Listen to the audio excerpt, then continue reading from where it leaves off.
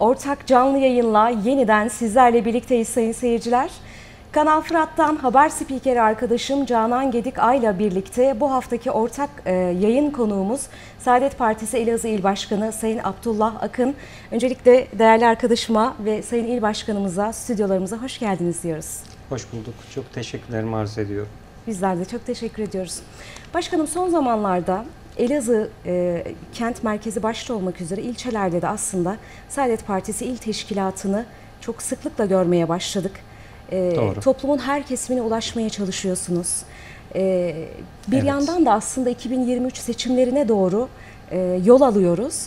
Bu noktada aynı zamanda toplumun da nabzını ölçmüş oluyorsunuz. Öncelikle soralım.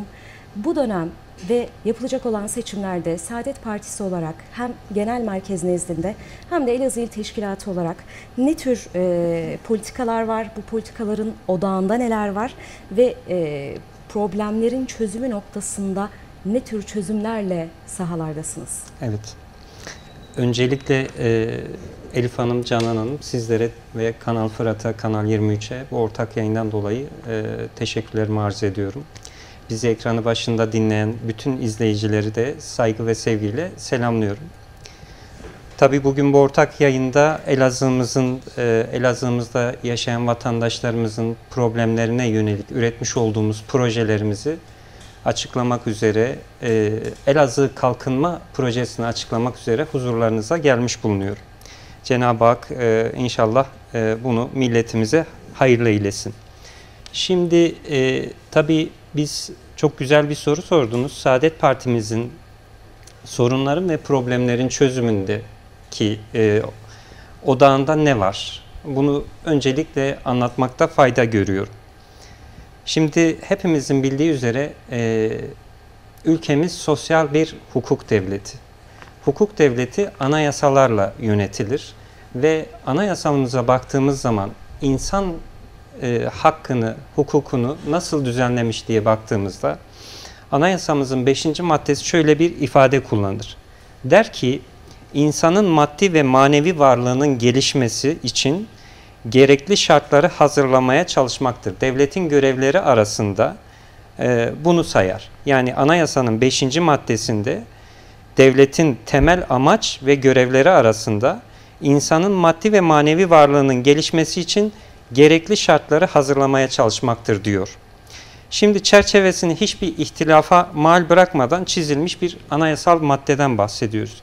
Peki insanın maddi olarak kalkınması için, maddi varlığının gelişmesi için ne tür bir hamleye ihtiyaç var diye bir soru sorduğumuzda anayasada yine bunu şöyle tanımlıyor.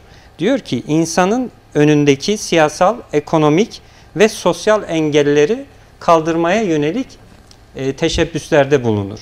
Yani bu maddi varlığını geliştirmek için bu teşebbüsleri yapar. Manevi varlığını geliştirmek için de insanın e, inanç özgürlüğünü e, istediği gibi inancını yaşaması yönünde kendisine bir takım e, yatırımlar yapar ve bu her bu konuda her ne engel varsa bunu kaldırır.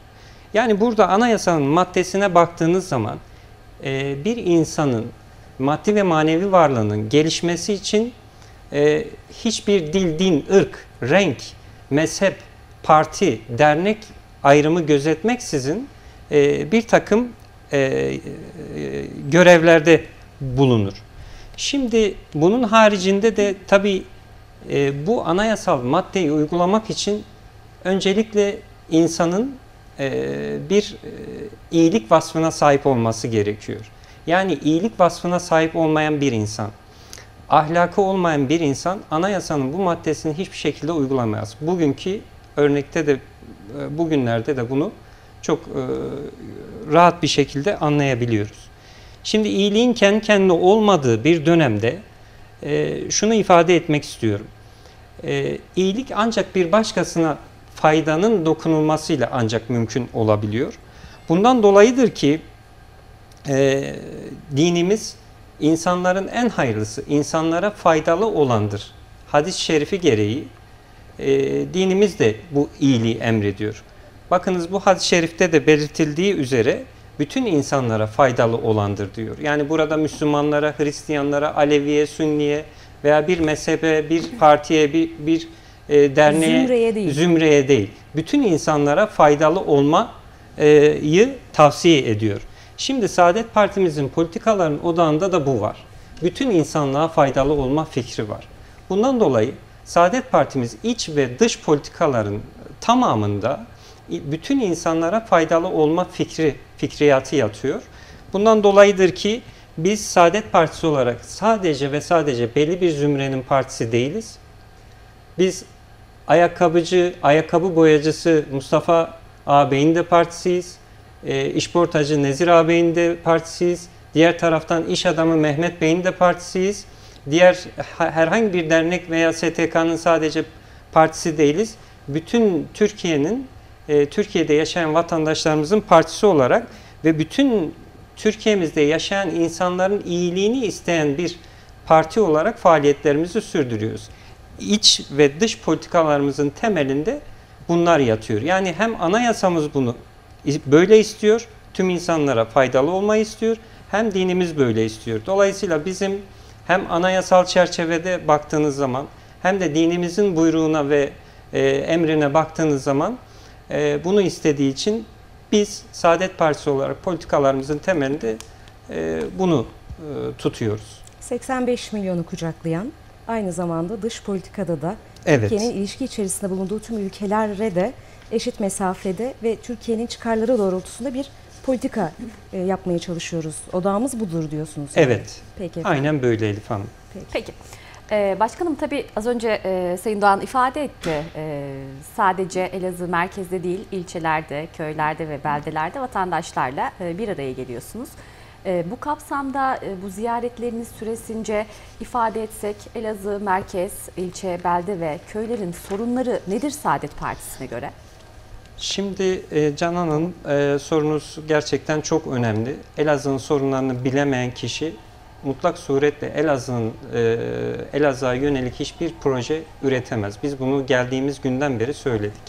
Şimdi hakikaten Elazığ'ımızda bir takım gündemler oluşturuluyor, bazı şeyler konuşuluyor ama bunların hiçbirisi Elazığ'ın gerçek problemini, vatandaşımızın gerçek problemini yansıtmıyor. Yani bu konuşulanların çoğu tamamen e, ben şöyle ifade edeyim, gürültü ve göz boyama siyasetinden ibaret. Nedir peki yani, sorunlar? E, Elazığ'ın gerçek sorunu şu. Bakınız ben kısaca özetlemek isterim. Elazığ'da şu an 30 bin tane kayıtlı işsizimiz var. Elazığ'ın iş gücüne baktığınız zaman neredeyse iş gücünün %50'si şu an işsiz. Ve her geçen bu gün bunun üzerine yeni işsizler katılıyor. Geçen gün bakınız KPSS sınavına gençlerimiz katıldı. On binlerce insan trafikler kilitlendi artık. Bütün insanların şimdi bu gençlerimizin kamu dairelerine girmesi mümkün mü? Mümkün değil. Bunun kaynağı ne? Bu kadar işsiz, işsizler ordusunun kaynağı Elazığ'ımızda üretilen yanlış politikalardan kaynaklanıyor, yanlış yatırımlardan kaynaklanıyor. Diğer bir soruna baktığınız zaman ilçelerimizde e, hayvancılıkta bakıyorsunuz Elazığ'ımız ilk 6. sıradan 41. sıraya kadar gerilemiş durumda. Yani 6 ile 41 arasındaki farkı e, hakikaten hayretler içinde kalıyoruz. Bu, bu rakama gelmiş olması çok ciddi bir çöküşün göstergesi. Diğer taraftan tarım hakeza çökmüş. Mazot fiyatları, gübre fiyatları, girdiler çok yükseldiği için maalesef ilçelerimizde de tarım tarımı bırakan e, çiftçilerimizle karşılaşıyoruz. Arazilerini ekmeyip bunları e, bir e, işte e, belki arsalarını satma yoluna gidiyorlar ve tarımı bırakarak artık bu bu noktada bunun daha da hızlanmasını, tarımsal geri gidişin daha da hızlanmasını sağlıyorlar. E bakıyorsunuz ilçelerde yine gittiğiniz zaman dıştan baktığınızda otel gibi hastane binaları var hakikaten ama içine gittiğinizde kan tahlil makinesi yok, diyaliz ünitesi yok, e, efendime söyleyeyim kadın doğum doktoru yok. E, çok basit teçhizatların bile hastanede olmadığını görüyoruz ve bu da e, maalesef e, burada e, ki e, hastanelerin tamamen bir e, sağlık ocağı mertebesinde olduğunu gösteriyor. Bunun dışında zaten hayat pahalılığı herkese malum. Ülkemizde ve memleketimizde ciddi bir hayat pahalılığı var ve vatandaşlarımız hakikaten borç içerisinde ve bir vatandaşımızın artık bir ev, araba veya çok basit bir gereci bile alma e, konusunda hakikaten çok zorlandığını görüyoruz. Yani bugün bir market alışverişi bile 1000-2000 liradan aşağı e, market alışverişinden çıkamıyorsunuz. E, bunları tabii ki vatandaşlarımız çok daha iyi, iyi biliyor. Ve sonuç olarak Elazığ'ımızda bakıyorsunuz tüm bu işsizliğin, işte bu tarımın geri gidişinin, hayvancılığın bitmesinin, ondan sonra sağlık sisteminin çökmesinin, eğitim sisteminin çökmesinin. Mesela eğitim sistemine baktığınız zaman ilçelerde bazı bölümlerin olmadığını görürüz. Yani düşünün lise eğitimi veriliyor, sayısal bölüm yok veya o bölümde yeterli e, insan olmadığı için koca ilçe bakıyorsunuz e, Elazığ'a gidiyor bundan dolayı. Vatandaşın sırtına bir kambur daha koymuş oluyorsunuz. Yani siz e, baktığınız zaman e, ilçe mi okulun ayağına gider yoksa okul mu ilçenin ayağına gider? Ama Elazığ'da tüm ilçelerde durum bu. Vatandaşımız kendi çocuğunu okutmak için geliyor, merkezde bir ev tutuyor, işte onu oraya yerleştiriyor, harçlığını gönderiyor, gidip geliyor. Vatandaşın üzerine kambur üstüne kambur konuluyor. Ve bunun doğal sonucu olarak da son zamanlarda hepiniz de yakinen takip ediyorsunuz. Elazığ'da asayiş olaylar son derece arttı. Şimdi bir takım kişiler işte Emniyet Müdürlüğü'nü, Elazığ Emniyet Müdürlüğü'nü suçlamaya başladılar. Ben bunu çok yanlış buluyorum. Siz bugünkü hayat pahalılığında, bugünkü enflasyonda, bugünkü işte bu e, krizlerin içerisinde her insanın başına bir polis bile dikseniz bu olayları önlemeniz mümkün değil. Bakınız yapılan bir araştırmada enflasyonun yüzde bir artması, enflasyonun yüzde bir artması suç olaylarının iki kat arttığını gösteriyor. Yani Türkiye'de şu an enflasyon almış başını gidiyor. Birileri yüzde yetmiş seksen açıklıyor ama mutfak enflasyonuna baktığınız zaman yüzde 200, yüzde 300 arttığını görüyoruz. Bunların doğal sonucu olarak Elazığ'ımızda asayiş olayları artıyor. Artmakla kalmıyor. Diğer taraftan intihar haberleri duyuyoruz. Gençlerimiz uyuşturucuya müptela oluyor. Geçen mesela açıklama yaptık. Dedik ki metafemtamin kullanımın, kullanımında Elazığ Türkiye'de ikinci sırada dedik. Birileri çıktı itiraz etti. Dedi ki başkanım biz ikinci değil beşinci sırada. Ya özrün kabahatinden büyük. Şimdi senin ikinci sırada olsa ne olur? Beşinci sırada olsa ne olur? İşte bunlar hep bu e, yanlış politikaların sonucunda ortaya çıkan şeylerdir. Bunlar tamamen bir sonuç olarak ele almak lazım. Yani buna emniyetin önlem almaması olarak bakarsanız yanlış yorum yaparsınız. Ee, Elazığ'ımızın genel olarak en önemli problemleri bunlardır. Ee, bunları arz etmek istiyorum ben. Peki. Efendim şimdi Saadet Partisi kadrolarına baktığımız zaman geçmişte ülkede e, iktidar e, kadrolarında yer almış, e, ülkenin yasama ve yürütme erkinde yer almış insanlardan oluştuğunu da biliyoruz. E, ama şu an iktidarda AK Parti var. Evet. E, AK Parti Elazığ'da da bazı yatırımlar, e, kamu anlamında yatırımlar gerçekleştiriyor. Bu yatırımlara bakışınız nedir? Şimdi biraz önce e, Elazığ'ın başlıca e, tespit ettiğiniz sorunları aktardınız ama e, bu noktada kamusal anlamda yatırım noktasında Elazığ sizin partinize göre nerede? E, siz e, bu konuyla ilgili neler düşünüyorsunuz? Yani özellikle şeyin altını çı- da çizmek isterim efendim. E, neticede parti olarak dediğim gibi e, iktidarda yer almış kadroları da barındırıyorsunuz. Hani ülke yönetmenin, kamusal yatırım yapmanın ne olduğunu da aslında bilen bir partisiniz. Evet. Şimdi şöyle ifade edeyim. Biz Elazığ'da AK Parti'nin yapmış olduğu tabii ki bir takım hükümet olmasından dolayı bir takım yatırımlar var. Ee, bunu tabii ki inkar etmiyoruz. Ancak bu yatırımlara baktığınız zaman ben burada çok e, kritik bir şeyin göz önünde bulundurulmasını istiyorum. E, bizim bakış açımız şu, milletimizden toplanan vergiler yine milletimizin cebine girmeli. Saadet Partimizin bakış açısı bu. Ancak bugünkü uygulamaya baktığınız zaman milletimizden toplanan vergiler milletimizin cebine girmiyor. Sadece sınırlı belirli bir zümrenin cebine giriyor. Az önce ne dedik? Anayasanın 5. maddesine göre bütün insanların gelişimini, maddi manevi gelişimini sağlamak. Ve bunun önünde her ne engel varsa işte ekonomik bir engel olabilir, siyasal bir engel olabilir veya sosyal bir engel olabilir. Bunları kaldırmak devletin görevi bu. Hükümet bu yasaları uygulamak zorunda. AK Parti maalesef anayasanın bu maddesine aykırı olarak davranıyor.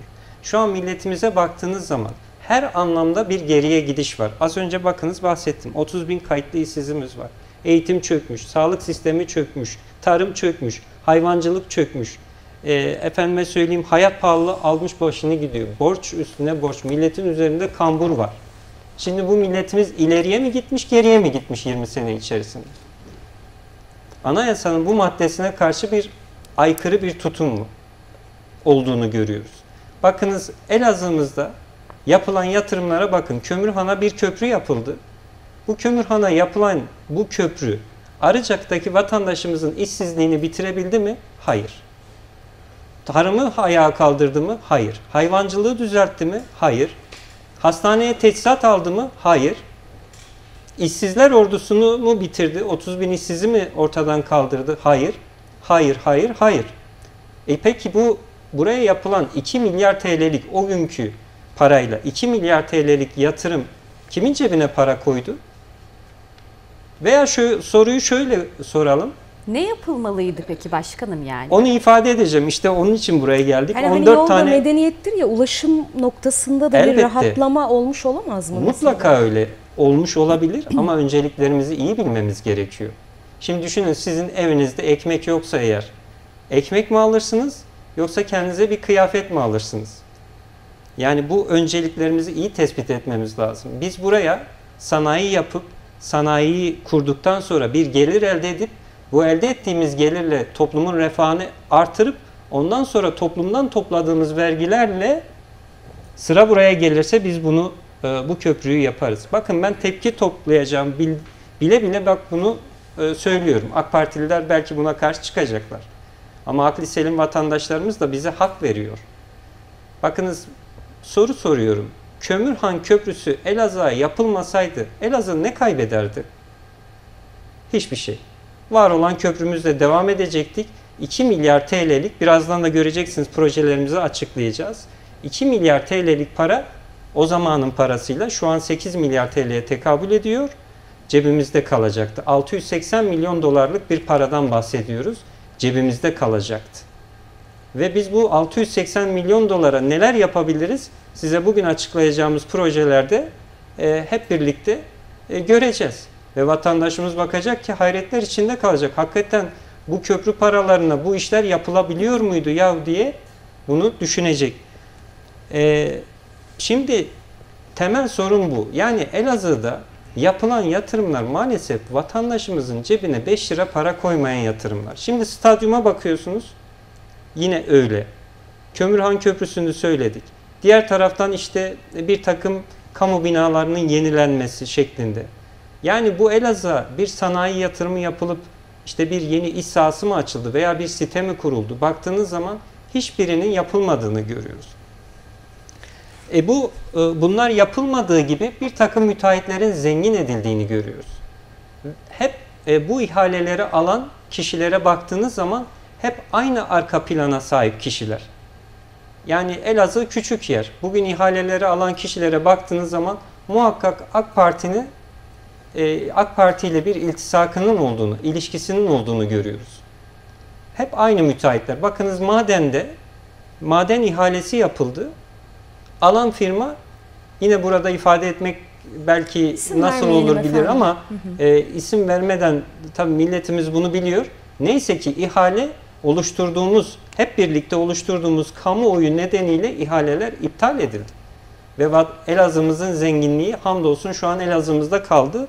Biz onun üzerine çok güzel projeler inşallah oluşturduk. Birazdan onu hemşerilerimizle paylaşacağız. Şimdi bu paralar kimin cebinden çıkıyor?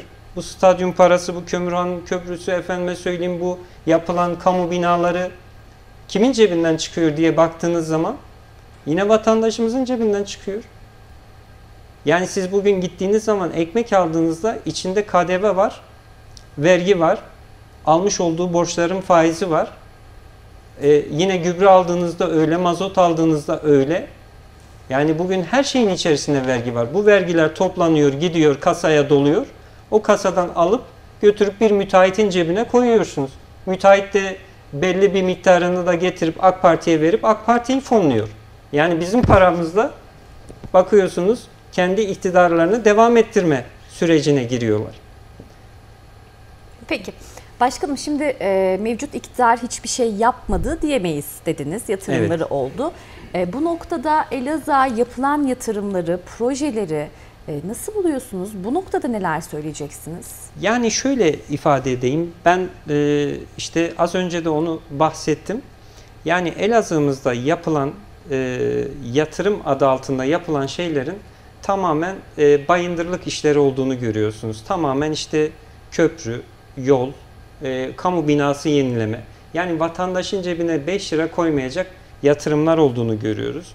Yani proje demek açıkçası çok şey kalır. Hani e, ben onu çok doğru bulmuyorum. Bunlar her hükümetin de yapabileceği faaliyetlerdir. Bugün AK Parti hükümette olmasa bir başka parti muhakkak bunu yapar yani. Bugün bir dilekçe yazarsınız işte ilçemizin köprüsü yok dersiniz. Bugün işleme konulmasa yarın mutlaka konulur. Bunda e, hiçbir şüphe yok yani. Bugün AK Parti'de olsa, Saadet Partisi'de olsa, hangi parti olursa olsun bu bayındırlık işleri yapılır. Ki zaten bu işlerin çoğunu da bürokratlar takip ediyor. Yani sizin bir ilçenizin, köyünüzün bir eksiği varsa bunlar yapılır. Şimdi bunların en övündüğü şey yol değil miydi? Bakın gidin ilçelerde tüm bağlantı yolları stabilize. Arıcak ilçesinde Hani yoluna, Dicle yoluna bağlanan e, yolların stabilize olduğunu görüyoruz. Yani tamamen göze görünen yerlerin yapılıp diğer göze görünmeyen noktaların yapılmadığını e, görüyoruz gezilerimizde, ilçe ziyaretlerimizde. E, biz mesela AK Parti milletvekillerini de takip ediyoruz. Bakınız e, şey yapıyorlar. Geçen bir milletvekilimiz programa çıkmıştı. İnanın iki saat boyunca izledim. Bu Elazığ'ımızın az önce bakın bahsettim 30 bin işsizimiz var. Hayvancılıkta 6. sıradan 41. sıraya düşmüşüz. Tarım çökmüş, sağlık çökmüş, e, hayvancılık çökmüş, eğitim çökmüş. Ağzından 2 saat boyunca bırakın bir proje açıklamayı. Proje kelimesini bile duymadık. Bugün bir eğer projeleri varsa hakikaten bizim görmediğimiz, duymadığımız bir projeler varsa çıksınlar söylesinler. Yok. Seçimden önce de yoktu. Bugün de yok. Bundan sonra da olmayacağını göreceğiz. Elazığ'da Saadet Partisi'nin gözünde hiçbir şey değişmedi mi peki başkanım? İşte bakınız e, veriler ortada. Benim bu söylediğim rakamlar e, tamamen İşkur'un kendi verileri. E, bunların hepsi teknik veriler. Ben afaki verisiz, bilgiye dayalı olmadan konuşmayı sevmem. Bakınız raporu var. 2021 yılı raporunu eğer e, vatandaşlarımız görmek isterlerse 2021 yılı İşkur raporunu e, okusunlar. Elazığ'ımızda ne kadar işsiz var görsünler. Peki Dolayısıyla düzelmedi. Hep kötüye gidiyor. Zaten hissediyorsunuz. Yani bizim bir şey söylememize gerek yok. Vatandaş şu an bir vatandaşın şu an bir ev alması mümkün mü? Mümkün değil. En ucuz ev şu an 1,5-2 milyon TL. En ucuz araba şu an e, yani belki de e, bir teneke belki e, teknik olarak baktığınızda hakikaten yani öyle. E, ülkemiz bir işten yanmalı motoru yıllardır yapamıyor. Yapma iradesi ortaya koymadı. Biz dışarıdan getirip motorunu falan her şeyini dışarıdan gelip burada montajlıyoruz. Öyle bir arabaya 500 bin lira para veriliyor. 1 milyon lira para veriliyor. Peki başkanım. Ne iyiye gitti diye düşünüyorum. Şu an bir şey aklıma gelmiyor. Yaşanılan bu ekonomik kriz sadece Türkiye nezdinde mi? Bunu böyle mi düşünüyorsun? Elbette ki şöyle, e, Türkiye e, şimdi tüm dünyada bir kriz var. Bu, bu doğru. Ama dünyada yaşana, yaşanan enflasyonlar %5'i 6'yı geçmiyor. Yani bizim şu an bulunmuş olduğumuz, içinde bulunmuş olduğumuz enflasyon oranı Zimbabwe ile aynı oranda. Yani adını sanını duymadığınız ülkelerle aynı enflasyon oranıyla mücadele ediyorsunuz. Belki onlar daha iyi. Yani baktığınız zaman ben ülkenin ismini hatırlayamıyorum. Ee, o kadar garip bir ülke adıydı. Onun para birimi dolar karşısında çok daha değerliydi. Biz bu duruma niye düşelim ya? Bizim zenginliklerimiz var. Yeraltı, yerüstü kaynaklarımız var, zenginliklerimiz var. Peki Yani yeteri kadar üreten bir toplum muyuz? Kesinlikle hayır. Bakınız e, şu an Türkiye'deki üretim anlayışı tamamen sömürge kalkınma anlayışı. Sömürge tipi üretim. Nasıl sömürge tipi üretim? Kimse kusura bakmasın. Bakınız siz Türkiye'de e, yıllardır Renault, Ford, Honda bunun gibi büyük araçlar Türkiye'ye fabrika kurdular değil mi? Pirelli, lastik fabrikası. Efendim isim Bak- vermeyelim. Tabii tabii. Ee, mesela Türkiye'de araç firmaları getirdiler, fabrikalarını kurdular. Bunların bakıyorsunuz motoru dışarıdan geliyor. İçten yanmalı motoru. Efendime söyleyeyim elektronik sistemi dışarıdan geliyor. Yani Tüm mekanizması dışarıdan geliyor. diyorsunuz. Montajını biz yapıyoruz. Üstüne işçilik karı koyup buyurun ürettik deyip gönderiyoruz. TOG'a bakıyorsunuz. Bakın TOG elektrikli araç üretilecek değil mi? Hala daha ders çıkarmadılar.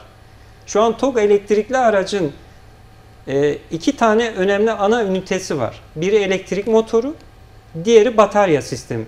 TOG'un elektrik motoru nereden geliyor biliyor musunuz? Bosch Alman firması. Bataryası nereden geliyor diye baktığınız zaman Amerikan Farasis firması ve Çin firmayla ortak bir şekilde getirecekler. Burada fabrikalarını kurmuşlar. Biz ne yapacağız? Montaj. Ya ele- e, Türkiye'de en pasif eleman, elektronikte en pasif eleman dirençtir. Direncin imalatı bile yok Türkiye'de. Dolayısıyla bu ham maddelerin üretimini, ara mamullerin, mamullerin im- üretimini yapamadığımız için Türkiye'de raflarda fiyatları da sabit tutamıyoruz. Düşünün işte e, bir örnek vermek gerekirse bir ampul imalatından varsayalım. Ben imalatçı olduğum için biliyorum. Bakın içerisindeki elektronik en pasif elemanı bile dışarıdan almak zorundasın. Türkiye'de üret, üretimi yok. Her şey için bu geçerli. Plastiği dışarıdan alıyorsunuz. Plastik ham maddeyi yok. E, bakıyorsunuz işte metalini, e, dışını, her şeyini düşünün kağıt bile yok ya. Kağıt fabrikası Seka kağıt fabrikamız vardı. O bile satıldı. Hiçbir şey kalmadı elimizde. Hurda kağıtlardan dönüştürülüyorsa bir şeyler dönüştürülüyor. Amerikan Bristol kullanılıyor. O bile dışarıdan alınıyor. %80 oranında biz yurt dışına bağımlıyız. Yurt dışına bağımlı olduğumuz için dolar artınca ister istemez e, bu ürünlerin fiyatı da yükseliyor. Peki. Raflarda fiyatı maalesef sabit tutamıyoruz. Peki. Durum budur. Efendim bir soru daha sorup ona da kısaca cevap alalım. Çünkü izleyicilerimiz de aslında açıklayacağınız projeleri merak ediyorlar. Onlara da giriş yapmak isteriz. Ee, şimdi e, anketler yapılıyor Elazığ'da. Bu anketleri nasıl değerlendiriyorsunuz? Şimdi şöyle ifade edeyim. Evet, e, anketleri biz de yakından takip ediyoruz. Şimdi bakıyorsunuz partinin biri çıkmış. Diyor ki ben ankette diyor birinci çıktım. Şimdi bakın ben az önce ne anlattım? Bu kadar olumsuzluk var. Vatandaşı ziyaret ediyoruz.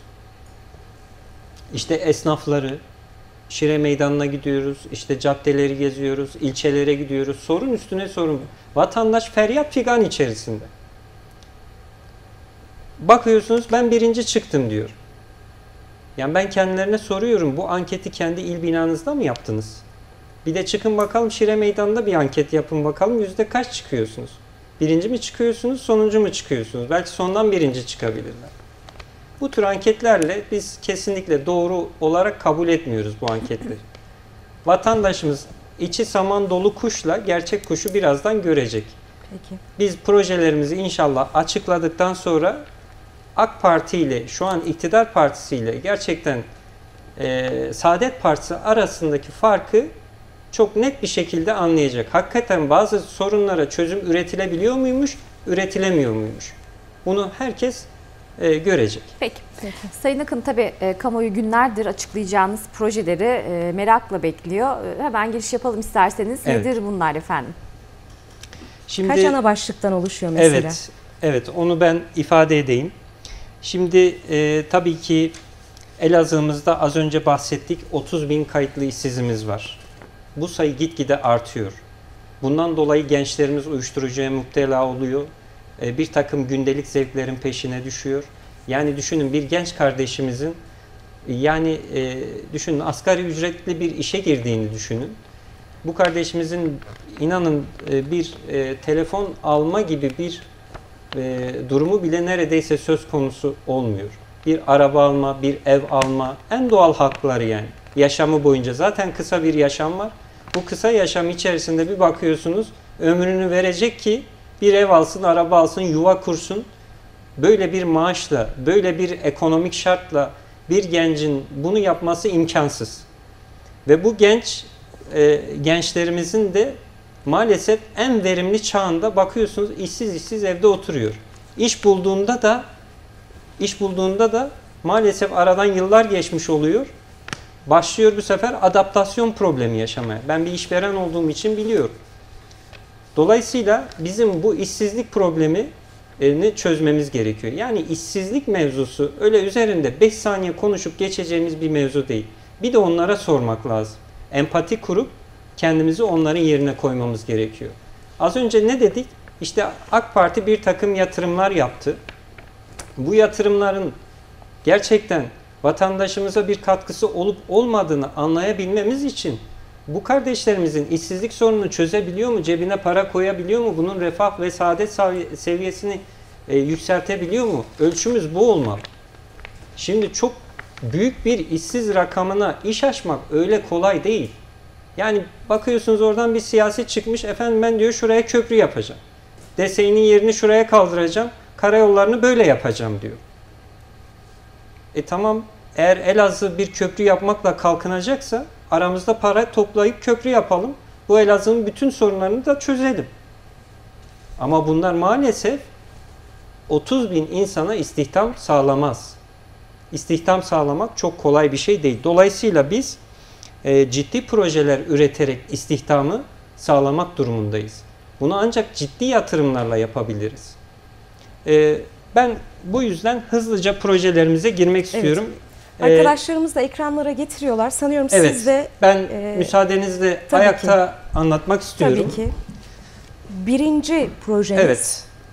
Şimdi Elazığ Kalkınma Planı'nda birinci projemiz Elazığ Kalkınma Planı'nda şöyle ifade edeyim. Hedefimiz şu. 30 bin işsiz değil doğrudan 50 bin istihdam alanı oluşturmayı Başkanım biz rica etsek hedefliyor. biraz daha ekranımızın Tabii. yanına doğru giderseniz. Şurada görünüyor değil mi? Evet. Hedefimiz şu. 30 bin işsiz değil. Şu an Elazığ'ımızda İşkur'a kayıtlı kayıtlı 30 bin işsizimiz var. Ancak e, kayıtsızlarla birlikte herkes İşkur'a kayıt yaptırmıyor. Bunu çok iyi biliyoruz yani. Şu an tahmini işsiz sayısı aslında 30 binin üzerinde 50 bin civarında bir işsizimiz var. Bakınız 30 bin işsiz değil doğrudan 50 bin istihdam alanı inşallah bu projelerle biz oluşturacağız. 100 bin de dolaylı istihdam oluşturacağız. Şimdi siz bir fabrika kurarak sadece fabrikaya istihdam oluşturmuyorsunuz. Fabrikanın yanında çevresinde ticaret gelişiyor, sosyal alanlar, kültürel alanlar oluşuyor, konutlar oluşuyor. Dolaylı olarak istihdam alanları açılıyor, hastaneler kuruluyor. Dolayısıyla bir kent e, oluşuyor e, fabrikanın etrafında. Dolayısıyla dolaylı bir istihdam da oluşturmuş oluyorsunuz. Bizim bu bahsettiğimiz 50 bin istihdam bu yatırımların yapılması durumunda 50 bin istihdam alanı açılabileceğini gösteriyor. 100 bin de dolaylı istihdam oluşturuyor. Nitelikli ve yüksek gelir seviyeli istihdam. Yani bugünkü gibi e, ben tabii ki organize sanayimize yatırım yapan tüm e, e, fabrikatör arkadaşlarımızı ben teşekkürlerimi arz ediyorum. E, tabii biz e, buraya tekstil fabrikası da yapılmalı, diğer fabrikalar da yapılmalı. Ancak bizim Elazığ'ımızın e, gerçekten gençleri, insanları çoğu okumuş, e, hakikaten e, nitelikli iş gücüne sahip insanlar. Elbette ki bu tür yatırımlar da olmalı. Ancak bizim e, nitelikli insanlara iş açacağımız, iş alanı açacağımız yatırımlar da yapmamız gerekiyor. Dolayısıyla nitelikli ve yüksek gelir seviyeli istihdamdan biz e, istihdamı amaçlıyoruz bu yatırımlarla. Şimdi Elazığ'ımızın 335 milyon dolarlık bir ihracatı var. 2021 yılı itibariyle. Bu 335 milyon doları e, aştığınız zaman bunun 250 milyon doları zaten ferrokrom tarafından yapılıyor. Bu Elazığlı vatandaşımızın cebine bir şey koyuyor mu? Maalesef koymuyor. Ferokromu sattık gitti. Elimizden uçtu gitti. Onu kim yaptı? AK Parti yaptı. Şimdi geriye kaldı 335 milyon dolardan 85 milyon dolar. 85 milyon doların 50-60 milyon doları zaten mermerden oluşuyor. Geriye de 3-5 milyon dolarlık bir takım ihracatlar oluyor ki bu da bizi Elazığ'da ihracatta 46. sıradan en son sıralara atıyor. Yani biz aslen gerçek manada rasyonel olarak baktığımızda ihracatta Elazığ'ımız son sırada neredeyse. Diğer taraftan projelerimizin amacı mahrum ve ma mağdur ilçeler değil, gelişmiş ilçelere sahip bir Elazığ. Bu konuya da birazdan değineceğiz.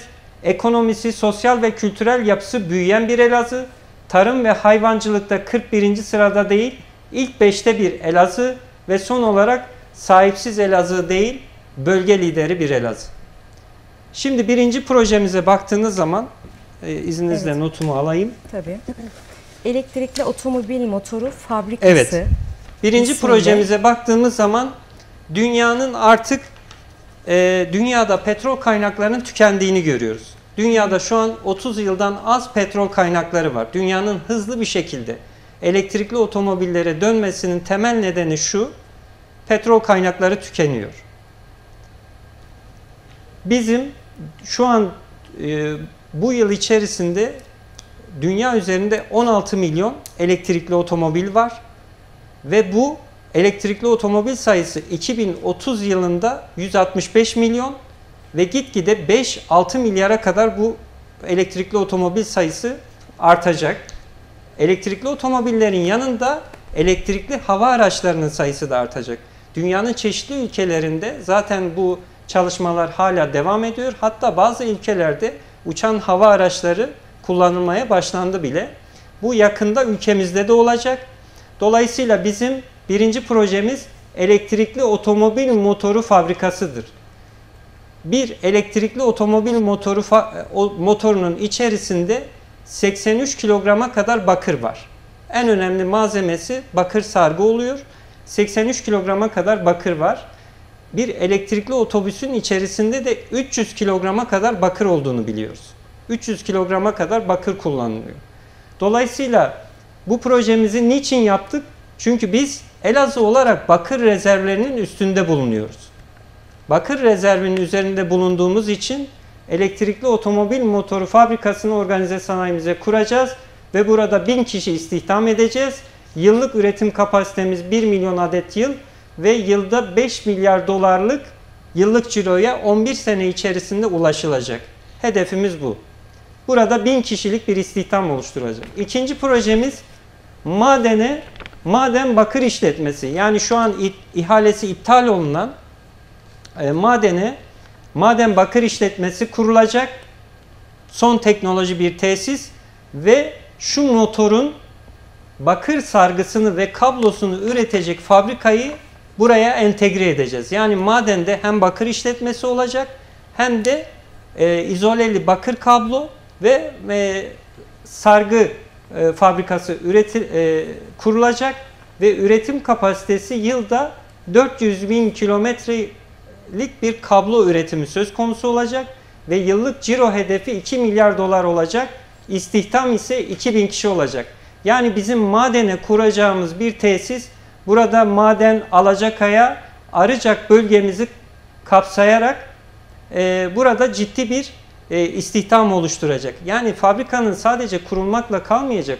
Burada toplu konutlar kurulacak, hastaneler, bu e, ticarethaneler, sosyal ve kültürel faaliyetlerin yapılabileceği bütüncül bir proje olarak burada imal edilirse eğer bu 2000 sayısı bir anda 20 bine bile çıkabilir. Burada bir kent yeniden maden eski durumuna gelip burada bir kent inşa edilebilir.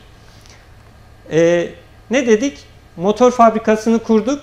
Bu motorun sargıları, izoleli sargısı burada üretilecek ve merkeze gönderilecek. Organize sanayiye gönderilecek. Üçüncü projemiz ne? Elektrik motorunun biliyorsunuz e, bir de rotor ve statör dediğimiz kısmı var. Motorun dış kısmı e, statördür. İçinde hareket eden kısmı da rotordur. F- e, krom kaynaklarına yakın olması itibariyle Karakoçan, Palu, Kovancılar'da statör ve rotor fabrikası kurulacak. Yani elektrik motorunun dış gövdesi bu hat üzerinde e, yani Karakoçan, Palu, Kovancılar e, güzergahı üzerinde kurulacak bir fabrikada imal edilecek ve biz burada bin kişi istihdam edeceğiz. Dolaylı istihdam değil bu doğrudan istihdam oluyor. Yani siz burada gövdesini imal edeceksiniz.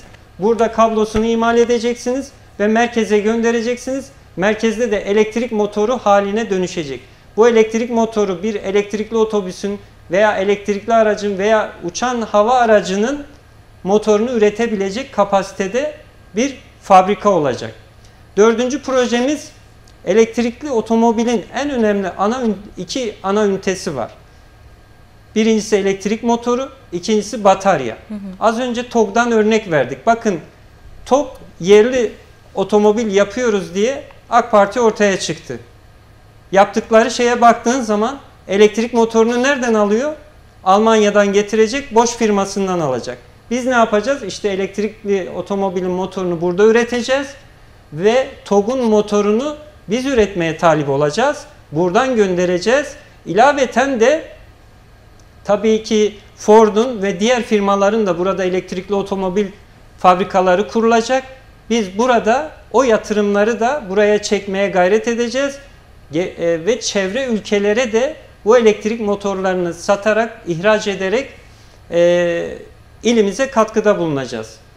Dördüncü projemiz ikinci ana ünite dedik pil ve batarya kısmı elektrikli otomobilin. Baski ile pil ve batarya fabrikası kurulacak. Burada da 1000 kişi istihdam edeceğiz.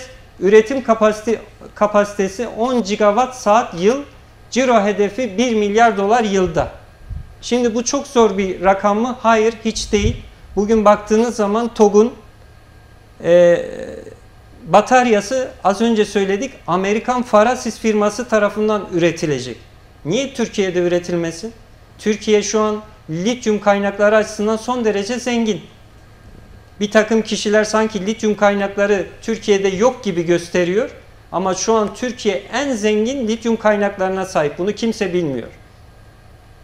Ee, dolayısıyla Türkiye'de e, pil ve batarya fabrikasını buraya kurarsak elektrikli otomobilin en önemli iki ana ünitesini burada üretmiş olacağız. Yani motoru ve bataryayı burada üreteceğiz. Evet. Tabii bu üretimleri yapınca 5. projemiz organize sanayi böl- bölgesinde elektrikli kara ve hava araçları kümelenmesi projesi yapacağız. Şimdi siz düşünün.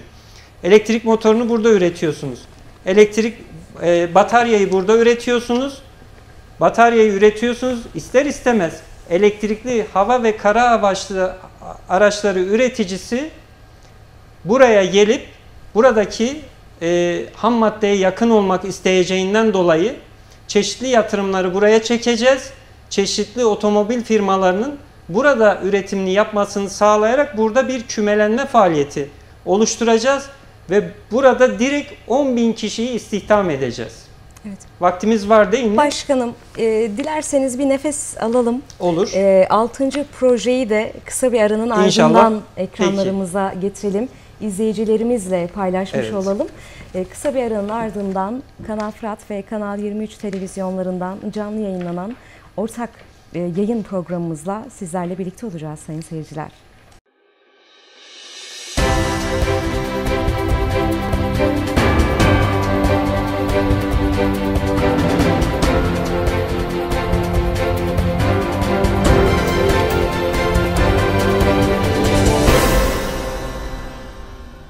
Kanal Fırat, Kanal 23 ortak canlı yayının ikinci bölümüyle yine sizlerleyiz sevgili izleyenler. Kanal 23 Haber Müdürü Elif Doğan'la birlikte e, canlı yayın konuğumuz e, Saadet Partisi İl Başkanı Abdullah Akın. E, Efendim tabii ilk bölümde e, genel olarak Saadet Partisi'nin yaptığı Elazığ'da çalışmalarına değindik. E, Kalan son kısımlarda da özellikle kamuoyunun merak ettiği projelere e, değindik. Altıncı projeyle kaldık başkanım. Evet. E, Neler söyleyeceksiniz? Altıncı projeyle isterseniz devam edelim. Tabii ben yerime geçeyim müsaade Tabii ki, buyurursanız. Şöyle e, tabii İlk projelerimizi açıkladık 5'e kadar e, ve şu an 6. projeyi açıklıyoruz. 6. projemiz bir kere Elazığ'ımızda şöyle bir sorun var. Maalesef şu an yeni girişimcilerin işlerini yapması için e, e, yeterli sayıda imalathane, işlik sayısı yetersiz. Bakınız küçük sanayi sitesinde yer yok. İşgemlerde yer yok. E, birinin de oturup kendi binasını imal etme gibi bir şansı yok. Dolayısıyla bizim yeni iş yapmak isteyen e, imalatçılarımıza, girişimcilerimizi bir iş alanı açmamız gerekiyor, bir atölye sunmamız gerekiyor, dükkan sunmamız gerekiyor. E, bunun haricinde de aynı zamanda işletmesini büyütmek isteyen insanlarımızın yeni bir iş yerine geçme noktasında bakıyorsunuz hep e, kendilerini e, frenliyorlar. Neden? Çünkü iş yapacağı yerlerin olmadığını görüyoruz. Dolayısıyla bir takım kişiler şahsi girişimlerle işte 15, 16, 20 işlikli yerler açıyorlar ama bu Elazığ'ımızı maalesef kalkındırıp bir noktaya götürmez. Bakınız az önce ifade ettik 30 bin tane işsizimiz var. Bu işsizlerimizi e, böyle büyük yatırımlar yaparak yeni iş sahası açabiliriz. Yani herkesi kamuda istihdam etmek mümkün değil ve bunun ardından da yeni işsizlerimiz de geliyor. Üniversitemiz biliyorsunuz Fırat Üniversitesi'nde çoğu Elazığlı kardeşlerimiz okuyor. Dolayısıyla Elazığlı kardeşlerimiz mezun olduktan sonra işsizler ordusuna katılıyorlar. Bu yüzdendir ki biz 6. proje olarak 2000 adet iş yeri projesi imalatçılar sitesi projemizi hazırladık. Burada biz 20 bin kişiyi istihdam etmeyi planlıyoruz. 2000 adet metrekaresi 200, 400 ve 1000 metrekareden ibaret olan işlikler, atölyeler yapıp herkesin uygun şartlarda sahip olabileceği. Ne Çok, yapmayı planlıyorsunuz bu noktada? Bunun yeri istişareler sonucunda Ortaya. şehir plancıları buna karar verir. Yani bugünkü yapılan gibi işte ben burayı istedim oldu, şuradan şu kararı çıkarttırayım burası olsun şeklinde değil. Şehir plancılarıyla istişare edilerek bunlar yapılabilir. Yani biz bu projeyi taslak ort olarak ortaya koyuyoruz. Bunlar üzerinde düşünülerek, istişare edilerek mutlaka herkesin fikrine de başvurularak en uygun yere bunlar konulacak. Ee, yedinci projemiz de hepinizin bildiği üzere Elazığ'ımızdaki orta öğretim okulları e, maalesef şehir merkezinde kaldığı için son derece kötü şartlarda eğitim veriliyor. Yani bugün bir işte Dumlupınar İlköğretim Okulu'nu düşünün. Bir Mezre Ortaokulu'nu düşünün. Yani bu burada bulunan eski isimleriyle söylüyorum. Buradaki okulların e, eğitim kalitesi son derece düşmüş durumda. Şehrin içerisinde korna sesleri, e, gürültünün içerisinde çocuklarımız okuyor ve e, bakıyorsunuz laboratuvar imkanları son derece kötü. Yani herkes okulun durumunu biliyor. Çocuk okutanlar bilir her ay muhakkak suretle okuldan yardım talep edilir. Vatandaşın yardımıyla eğitim veriliyor. Bu da çok tabii üzerinde ayrı tartışılması gereken bir noktadır. Ama bizim hayalimizde e, ilin içerisinde bulunan, merkezde bulunan tüm okulların son derece ferah bir alana taşınarak dev bir orta öğretim kampüsünün e, projesini yaptık. Nedir bu dev orta öğretim kampüsünde neler var diye bakacak olursak dev bir kütüphanesi, e, efendime söyleyeyim e, doğayla iç içe, e, olimpik havuzların bulunduğu, e, az önce de ifade ettik kütüphanesinin bulunduğu, e, velilerin kurslara katılabildiği, hayvanat bahçesinin olduğu, sosyal alanların olduğu, hatta genç yaşlı iç içe olsun diye huzur evlerinin bile bulunduğu çok büyük bir kompleksten bahsediyoruz. Gelişmiş laboratuvarlarının bulunduğu bir kompleksten bahsediyoruz. Bu kompleksi oluşturarak orada çok e, böyle e, e, eğitim kalitesini yükseltmek ve orada işte e, ders çalışmaktan haz alan öğrencilerimizi burada e, okutmak gayesiyle böyle bir proje hazırladık. Ee, yani şehrin merkezinde tabii ki okutmak isteyen vatandaşlarımız tabii ki yine orada okutabilirler ama alternatif olarak böyle bir orta öğretim kampüsüne ihtiyaç olduğunu düşünüyoruz. burada tabii çok büyük bir kompleksten bahsediyoruz. Yani burada tenis kortları, olimpik havuzlar, e, efendime söyleyeyim diğer e, spor faaliyetlerinin yapılabildiği, gelişmiş laboratuvarların olduğu, doğayla iç içe, e, son derece sessiz sakin dersliklerin olduğu, işte içerisinde mescitlerin, çeşitli belki şifahanelerin bile bulunduğu bir kompleksten bahsediyoruz. Burada 5000 kişilik bir istihdam oluşturmayı düşünüyoruz ki bu rakam çok iyimser bir rakam. Şu an üniversite boyutunda bir orta öğretim kampüsünü düşündüğünüzde 5000 rakamı çok iyimser bir rakam oluyor. Biz rakamları her zaman abartı düzeyinde tutmadan uygun bir düzeyde tutmaya gayret ettik. 8. projemiz Doğu Kent Han Kendi tramvay hattı. Bakın bu projemiz çok önemli. Doğu Kent'ten Han Kendi'ye kadar 25 kilometrelik bir hat var. Bugün İstanbul'a gittiğinizde zaten en küçük hattın e, uzunluğu 25 kilometre. Yani bu hayali bir proje değil. Gerçekleştirilebilir bir proje. Siz bu projeyle Doğu Kent ile Han Kendi arasındaki bulunan tüm mahallelerin e, sosyoekonomik yapısını birleştirmiş oluyorsunuz. Birle, buyurun. Ee, özür dilerim. Ee, şimdi çok önemli bir proje evet ama e, Doğu Kent Han Kendi arasında ki e, mesela yol durumu veya tramvay altyapısı uygun için mu değil uygun mi? mudur? Tabii. Ee, güzergah belli mi? Belli Şimdi mi şöyle tabii ki buna dediğim gibi şehir plancıları karar verecek. Bu bir projedir. Ee, bunu üzerinde tartışılır, güzergahlar değiştirilir, farklı noktalara çekilir. Bu bitmiş bir proje değil. Bu bir taslak projedir. Dolayısıyla e, bu bir vizyon çizer. Yani e, şehrin içinde bulunduğu sosyoekonomik sorunu nasıl aşabiliriz projeleridir. E, dolayısıyla e, burada işte tabii şunu söylemek mümkün değil. Belki bizim hayal ettiğimiz yerde bambaşka bir e, sorunla karşılaşacağız. Ama şunu da ifade etmek istiyorum. Mesela Hamza Yanılmaz döneminde bir kültür park projesi vardı. Hı hı. Kültür park projesi bazı nedenlerden dolayı, bir takım engellemelerden dolayı, bir takım sorunlardan dolayı o dönemde yapılamadı. Refah Partisi döneminde hatırlayın yapılmak istendi, yapılamadı. Ama sonra o projeyi yapmak başka bir belediye başkanına nasip oldu. Tabii o yaptığı proje de bizim hayal ettiğimiz projeden çok çok uzakta bir projeydi ama yine de kendilerine teşekkür ediyoruz. O proje gerçekleştirildi. Yani tabii ki burada da bir bu projeyi tasarlayıp düşündük. Bunun güzergahına şehir plancıları karar verecek, birçok ilin mülki amirleri karar verecek. Bu noktada tabii ki bir uzlaşma içerisinde, fikir birliği içerisinde yapılacak. Hı hı. Yoksa biz yaptık oldu işte bu olsun, bundan daha iyisi olmaz manası çıkmaması gerekiyor. Hı hı. Burada da bu sosyoekonomik yapıyı birleştirmiş oluyorsunuz. Bunu niye koyduk diye baktığınız zaman e, biz bu dev orta öğretim kampüsünü Malatya yolunda planlamıştık. Hı hı. Üniversite arazisinde planlamıştık. Yani burada hakikaten çok güzel, geniş sessiz bir e, ortam var. E, bir arazi de uygun. Dolayısıyla biz Doğu Kent'ten Han Kendi'ye kadar bunu yaparak tramvay hattını bu orta öğretim kampüsüne bağlamayı planlıyorduk. Dolayısıyla e, burada taşımacılığın da son derece ucuz ve kolay olmasını sağlamayı düşündük burada. Ve burada da yine 5000 kişi istihdam edilecek. Raylı hat mesafesi 25 kilometre, yatırım maliyeti 680 milyon dolar olarak belirledik.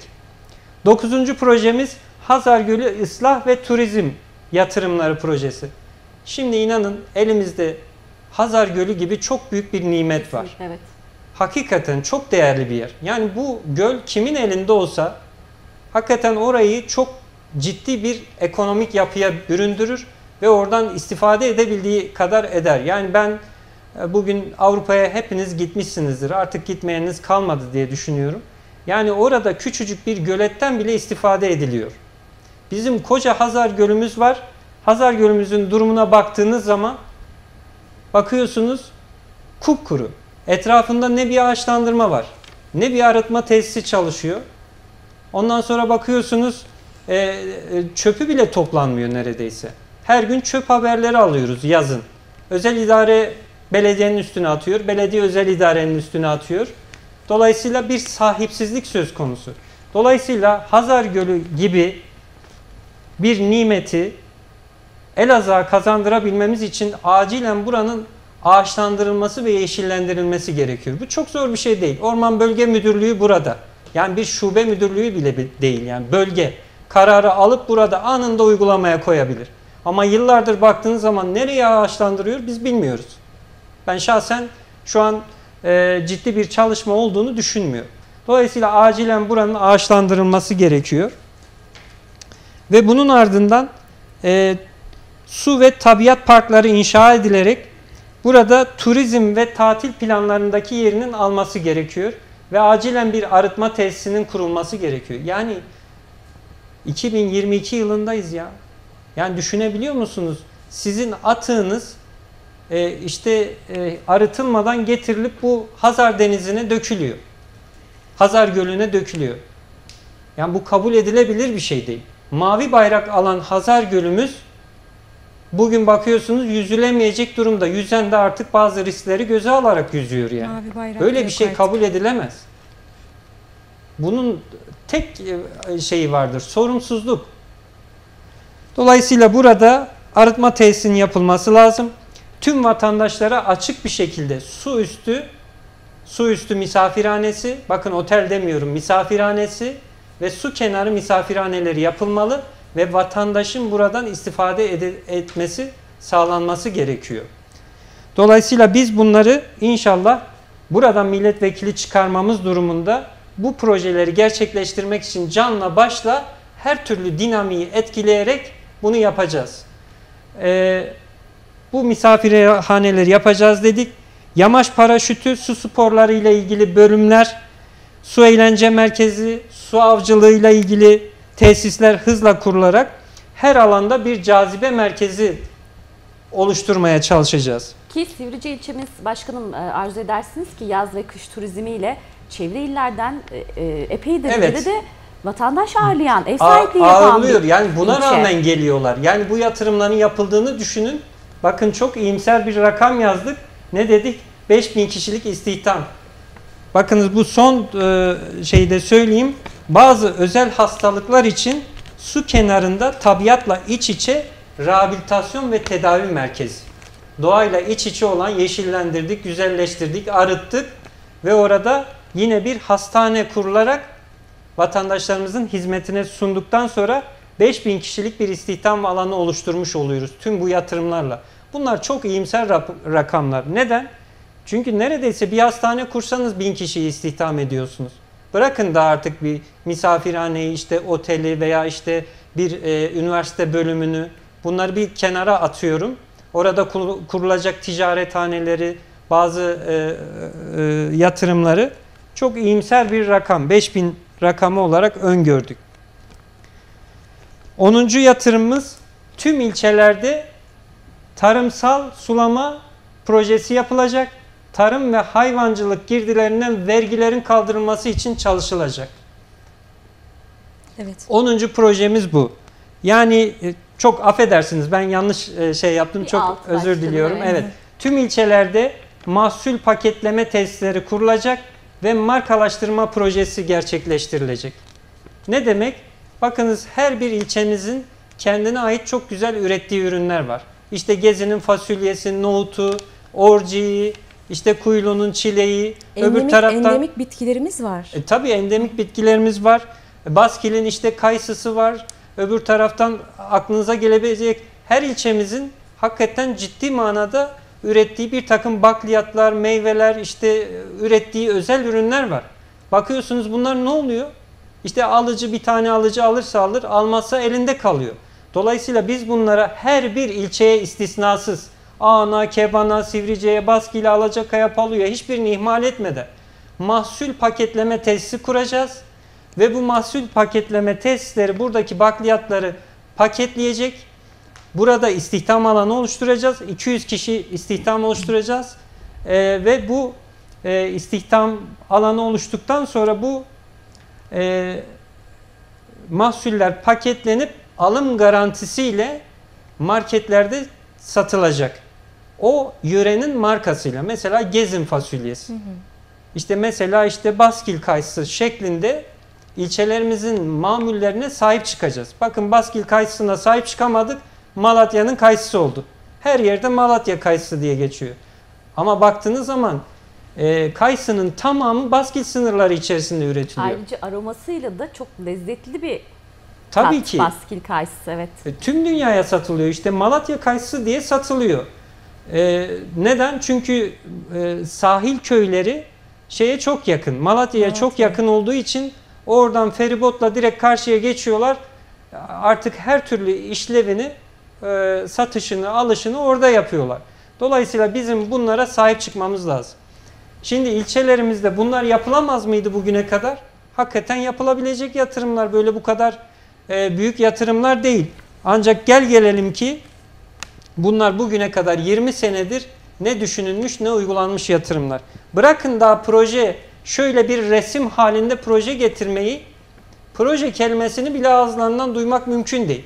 Proje diye stadyum, proje diye işte efendime söyleyeyim köprü, proje diye başka bir şey tamamen e, gürültü siyaseti. Bir bakıyorsunuz çıkmışlar bir takım konularda 3-5 kişiyle el sıkışıp adına da siyaset deniliyor. Dolayısıyla siyaset sonuç almaktır.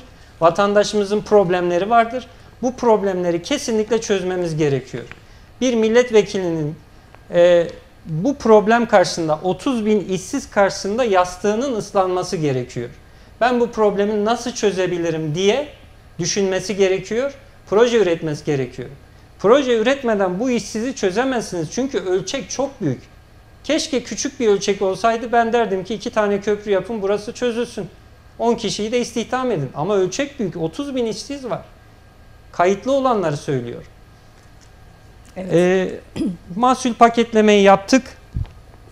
Ee, diğer projemiz ilçe devlet hastanelerimiz 11. projemiz az önce ne bahsettik ilçe devlet hastanelerimizde donanım yok. Adam kalp krizi geçiriyor Baskil'de. Ambulans çağrılıp gönderiliyor. Neden? Kan tahlil cihazı yok. Düşünün ya bir devlet hastanesinde kan tahlil cihazı olmaz mı? Yok. Çıksınlar açıklasınlar. Hiçbir şey yapamaz. Beyin kanaması geçiriyor. Doğru Elazığ'a. E Elazığ'a gidene kadar bu vatandaşımız ne olacak? Kim bunun hesabını verecek? Ölüm olayları olmadı mı? Oluyor maalesef. Biz bunların hepsini öğreniyoruz oradan. Dolayısıyla tüm ilçelerimizde tüm ilçelerimizde devlet hastanelerimiz tam donanımlı hale getirilecek. Ee, ilçelerimizde bakıyorsunuz röntgen cihazı yok, diyaliz ünitesi yok. Arıcak'ta 18 tane bizim diyaliz hastamız var. Ne yapıyor bu hastalarımız? Ta Elazığ'a geliyor. Vatandaşın sırtına bir kambur daha koyuyorsunuz. E bu adam tek başına gelemiyor. Yanına bir de refakatçi geliyor. Git gel aylık 2000 lira sadece yol parası. Kambur üstüne kambur. Okul yok, e, hastane yok. Kim bu vatandaşın problemini çözecek? Bakıyorsunuz ortada hiçbir şey yok. Vatandaşın parasıyla topladıkları vergilerle bakıyorsunuz bambaşka işler yapılıyor. Dolayısıyla biz ilçe devlet hastanelerini tam donanımlı hale getireceğiz. Orada mutlaka kadın doğum uzmanından tutun da diğer uzmanları mutlaka istihdam edeceğiz. Olması için gayret sarf edeceğiz. Diğer projemiz İlçe e, okulları. ilçe okullarımızı tam donanımlı hale getireceğiz. Düşünün yani e, bakıyorsunuz ilçede bölüm yok. Oradan koca ilçe kalkıyor çocuğuna e, şey tutuyor, ev tutuyor. Orada çocuğunu istihdam ediyor. Bir kambur da öyle yüklüyorsunuz vatandaşın sırtına. Biz ilçelerdeki okulları tam donanımlı hale getireceğiz. Hiçbir eksik kalmayacak şekilde bunu bu hale getireceğiz. 13. projemiz tüm ilçelerde tarımsal sulama projesi yapılacak. Tarım ve hayvancılık girdilerinden vergilerin kaldırılması için çalışılacak. Şimdi bu sulama deyince akla Kuzova, Ulova gibi projeler geliyor. Her gelen siyasetçinin kullandığı, tabirin mazur görün üzerinde e, zıpladığı bir proje. Şimdi maalesef bunun üstünden de bir takım siyasi siyasi konuşmalar yapılıyor. Bu sene gelen bütçe, bütçeye baktığınızda 1 milyon TL gibi komik bir rakam gelmiş. Böyle bir şeyi biz kabul etmiyoruz. Geldiğimizde bu projelerin e, son teknolojik projelerle inşallah tarımsal sulamayı destekleyecek. Vatandaşlarımızın e, tarım yapmasını sağlayacağız ve e, tarım girdilerinden vergilerin kaldırılması için çaba göstereceğiz. Nedir mesela işte gübreden verginin kaldırılması, mazottan verginin kaldırılması, ilaçtan verginin kaldırılması. Kaldırdığınız zaman ne olur? Bu kişiler ucuz buğday üretir. Ucuz buğday üretirseniz ucuz saman üretir. Ucuz ekmek üretirsiniz. Ucuz saman üretirseniz ucuz süt peynir üretirsiniz. Her yere sirayet eder. Dolayısıyla fiyatları düşürmüş olursunuz. Bu tür önlemlerle. Ve son projemiz tüm ilçelerde turizm cazibe merkezleri oluşturulacak. Bakınız her bir ilçemiz turizm açısından gerçekten çok büyük nimetlere sahip. Bugün Keban'ı ele alalım. Keban'ın bir Kemaliye'den ne eksiği var Allah aşkına? Gidiyorsunuz çarşıdaki dükkanlar yıkılmış. Esnafa esnafın dükkanına, yoluna, hiçbir yerine sahip çıkılmamış. 2-3 tane özel teşebbüsten dolayı orada bir takım faaliyetler oluyor ama bir Kemaliye'ye göre baktığınız zaman son derece geride. Şimdi mesela Kemaliye'de baktığınızda işte dükkanların dış cephesi tek tip olarak yapılmış ahşaptan daha otantik bir görüntü kazandırılmış. Oteller yapılmış, çeşitli yatırımlar yapılmış. Keban'da ne var diye baktığınızda gelen belediye başkanı oturmuş, giden oturmuş. Maalesef bir yatırım yapılmadığını görüyoruz. Evet. Şimdi birinci, e, birinci resmi alabilir miyiz? Evet arkadaşlarımız hemen. E, Bir diğer arka evet. evet. Şimdi tüm bu yatırımlar Elazığ'ımıza doğrudan 50 bin istihdam alanı oluşturur. Dolaylı olarak 100 bin daha fazlasını oluşturur. Bakınız işsiz sayımızdan daha fazla istihdam alanı oluşturduk. 335 milyon değil, dolar değil 10 milyar dolarlık ihracata sahip oluyoruz. 46. sırada değil ilk 10 sırada bir Elazığ oluyor. Mahrum ve mağdur ilçeler değil gelişmiş ilçelere sahip Elazığ. İlçelerimizin nüfusu kuşa dönmüş ya. Baktığınız zaman 3-5 bin kişiden müteşekkil. Neden? E çünkü hiçbir yatırım yapmamışsınız. Gidiyorsunuz adam siftah bile yapamıyor ya- açtığı dükkanda. Sosyal yapıyı bitirmişsiniz, ekonomik yapıyı bitirmişsiniz, kültürel yapıyı bitirmişsiniz. Biz neden bu dengesizliği gidermek için her bir ilçemize yatırım yaptık? Bu ilçelerimiz organize sanayimizi besliyor. Organize sanayide de imalat yapılıp ili besliyor. Buna dikkat ettik. Ee, ekonomik sosyal yapısı büyüyen bir Elazığ, tarım hayvancılıkta 41. sırada değil, yine hak ettiği 5. sırada bir Elazığ. Tüm bu yatırımların toplam tutarına baktığınız zaman Ne kadar? ne kadar diye cevaplayacak olursak bir Çanakkale Köprüsü kadar değil. 3,5 milyar dolar tutuyor bu yatırımların tamamı. Peki efendim Ş- Şöyle ifade edeyim. Bunu da bitireyim e, e, müsaade ederseniz. Bu yatırımların tamamı 3,5 milyar dolar yapıyor. 3,5 milyar dolar. Çanakkale Köprüsü ne kadar? 3,2 milyar euro. Çanakkale Köprüsü'nü yaparsanız 50 bin kişi işsiz kalıyor. Bunu yaparsanız 50 bin kişiye iş veriyorsunuz. Üstelik vatandaşın cebine para giriyor, iş buluyor. Öbüründe vatandaşın cebinden para çıkıyor. Ve nice nice böyle gereksiz, önceliği olmayan yatırımlara bakıyorsunuz. Tamamen e, vatandaşın cebine 5 lira koymayan yatırımlar olduğunu görüyorsunuz. Evet buyurun. Peki efendim şimdi hep e, Elazığ'ın var olan potansiyellerinin kullanılarak üretim ve istihdam sağlayan projeler. Peki iktidar olmanız halinde bu projeleri sadece kamu yatırımı olarak mı yapacaksınız? Kamu özel işbirliği halinde mi yapacaksınız? Ve e, bunların bir maliyeti olacak çünkü. Bu maliyeti denk bütçeyle mi sağlayacaksınız? Finans Yani nereden finanse edeceksiniz diye soruyorsunuz. Çok güzel bir soru, çok da önemli bir soru. Hakikaten bu projelerin ayağının yere basması için önemli bir soru. Bakınız bizim e, 35 milyon tonluk bir bakır rezervimiz var. İkinci resmi alabilir miyiz? Hemen getiriyor arkadaşlar. Evet. Şimdi madende biz bakır işletmesi kuruyoruz. Önce yatırıma başlarken madende bakır işletmesini bir kere alıyoruz. Onu yapmak zorundayız. Devlet teşebbüsüyle. Tamam. Tabii bunu yapmak zorunda. Çünkü burası stratejik bir yatırımdır. Özel teşebbüse devredilemez. Edilince ne oluyor görüyoruz. Ferrokrom elimizden gitti.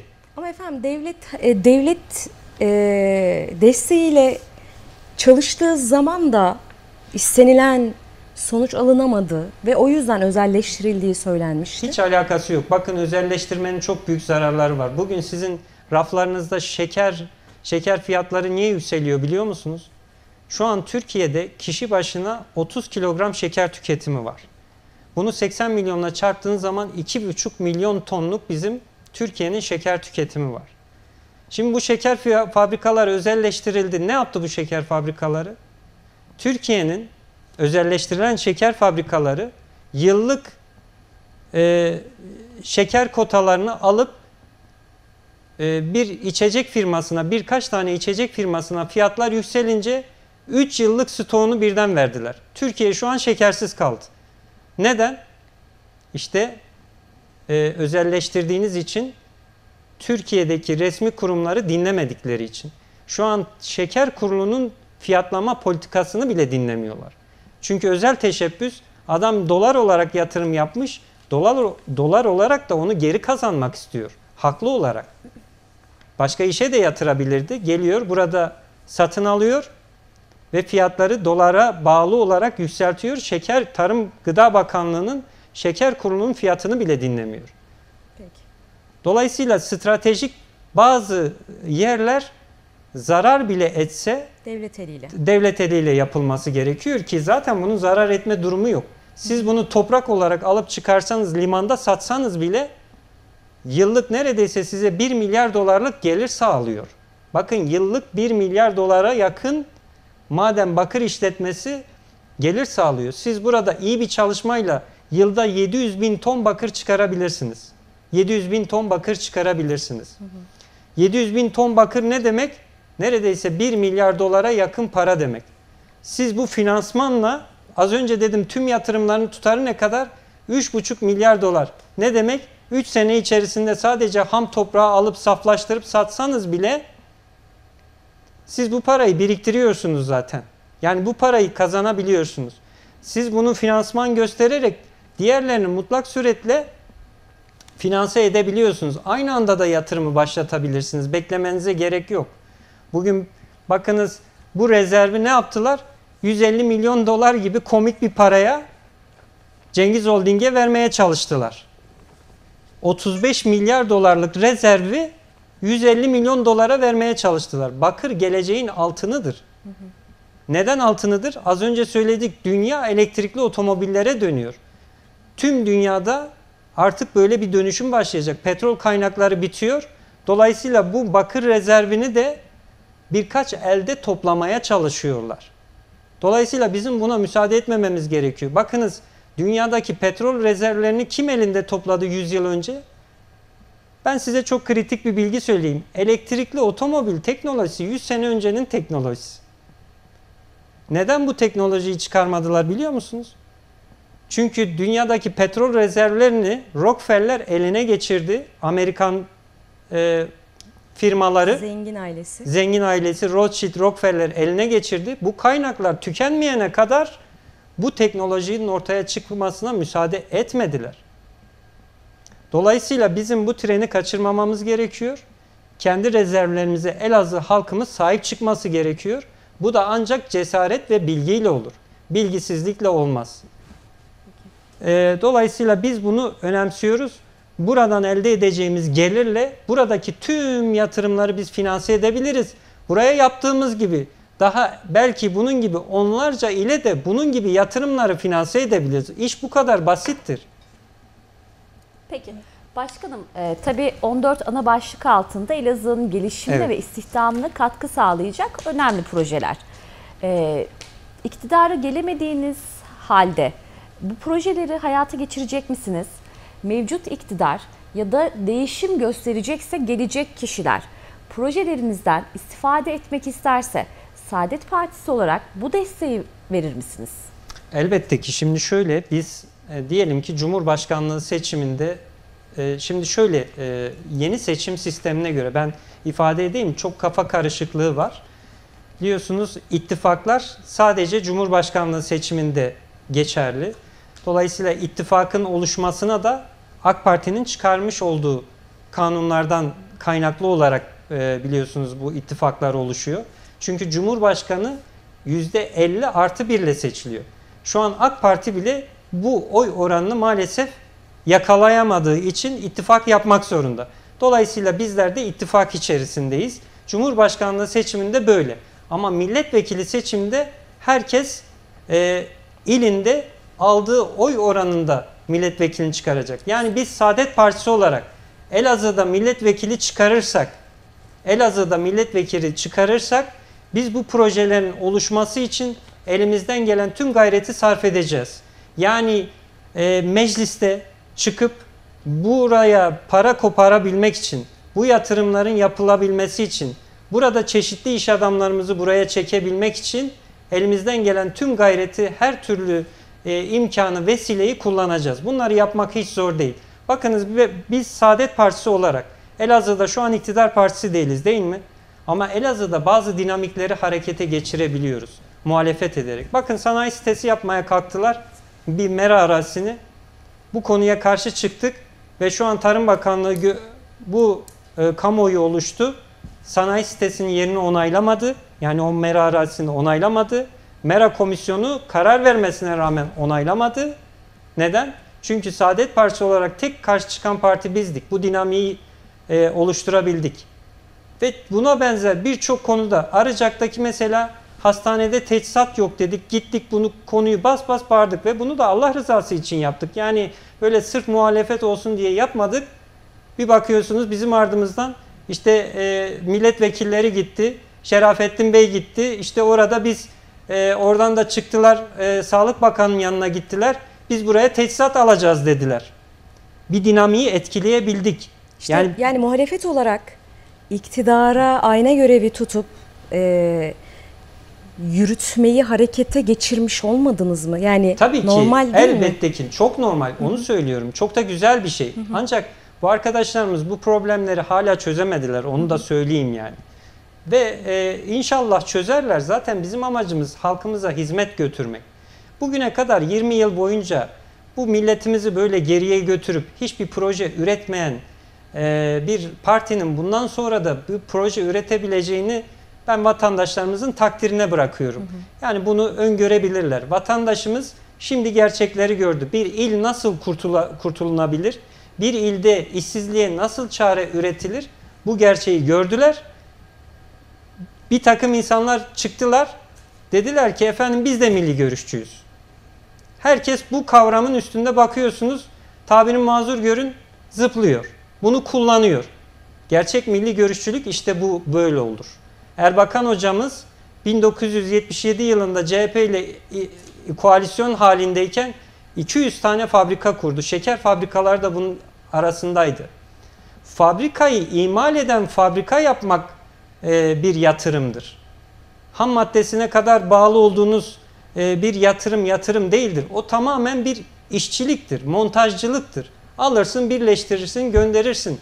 Orada çok cüzi bir kar var ama burada öyle değil. Bakın bu motorun bakır sargısını burada imal ediyoruz. Gövdesini şu stator, gövde dediğimiz ve rotor dediğimiz kısmı Karakoçan, Palu, Kovancılar'da imal ediyoruz.